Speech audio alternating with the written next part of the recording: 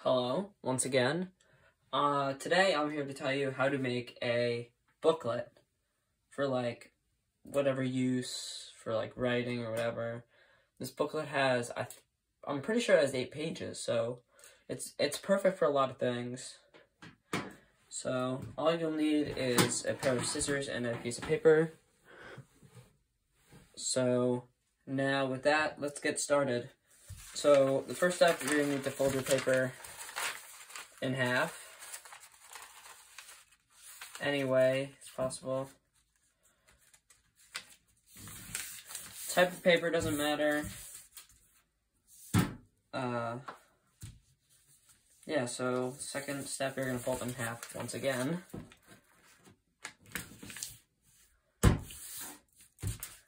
And you're going to fold it in half once again.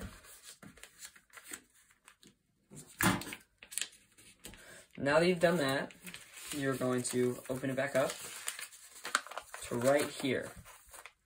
Now you're going to take your scissors, cut from here to the middle on the part where the fold is. Not the part that can open, the part in the crease. Now that you've done that, you're going to open it all the way up and fold it in half, hot dog style.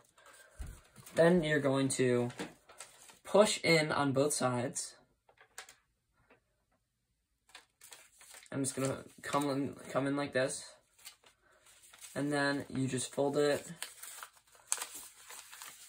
in and here you go. You can just push on the side a little bit.